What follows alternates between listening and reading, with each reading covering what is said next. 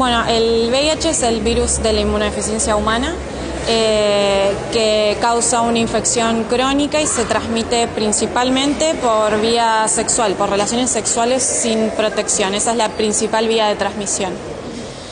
¿Cómo nos afecta, digamos? ¿Qué es lo que produce en el cuerpo el VIH? Eh, el virus del VIH ataca al sistema inmunológico, eh, afecta a determinadas células del sistema inmunológico y lo que hace a lo largo del tiempo es eh, que las defensas del organismo vayan bajando, eh, digamos, ataca el sistema inmunológico y sin el tratamiento una persona le empiezan a bajar las defensas, por decirlo de alguna manera, y empieza a tener infecciones por eh, otros microorganismos, puede tener neumonías, meningitis y demás.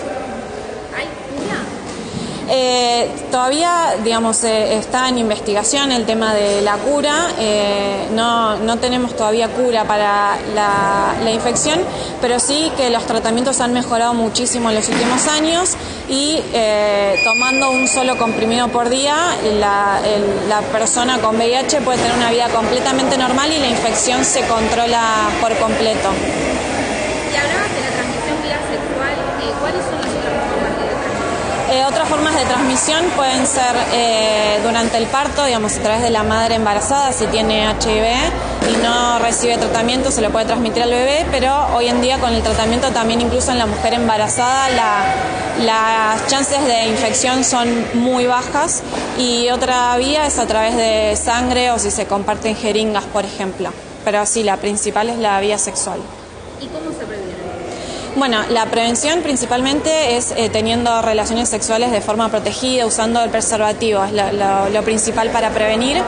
Y por otro lado, nosotros insistimos mucho en el testeo, eh, que la gente se haga el test de HIV, porque hoy en día una persona que tiene HIV pero que realiza el tratamiento no contagia. Entonces es otra forma de prevenir la, la enfermedad. ¿Y acá en el hospital se pueden hacer el testeo? Sí, Acá en el hospital hacemos eh, testeos rápidos que hay los días jueves, se pueden acercar acá al hall del hospital y si no, eh, con el consultorio de infectología, pidiendo turno con el servicio de infectología, podemos solicitar también eh, el test por análisis de sangre.